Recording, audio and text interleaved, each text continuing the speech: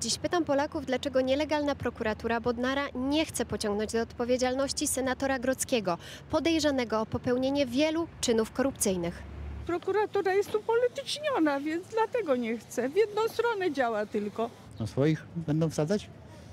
trzymają się razem, y, y, chronią się razem, y, mogą czynić bezkarnie, w- moim zdaniem, wszystko, ponieważ mają y, za sobą wszelkie y, narzędzia.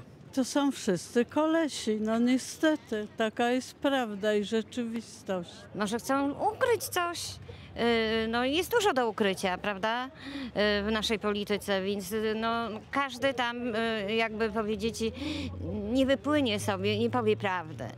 Bo gdyby była prawda, no to prawda w oczy kole, potem są stanowiska, tracą i tak dalej, prawda? wiadomo, że swój broni swego y, i, i mu, jak są dowody, no to trzeba te zarzuty postawić. To jest polityka, czysta polityka i cóż tu więcej powiedzieć, no, układy, układziki, stare wraca.